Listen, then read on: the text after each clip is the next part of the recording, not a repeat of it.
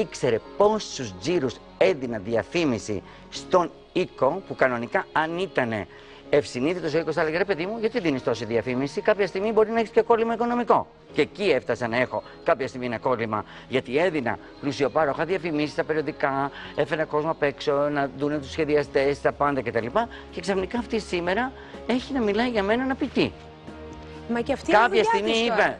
Κιόλας. Ε, ναι, Να αλλά η δουλειά ασχολείται- να θάβουν έτσι, όχι, Κύριε είναι η δουλειά Λάκη. μου να την εξευτελίσω. Και το είπα κιόλας και δημόσια, Ναι. ότι αν θα τη δώσω στον δρόμο, θα την κάνω να πονέσει πάρα πολύ.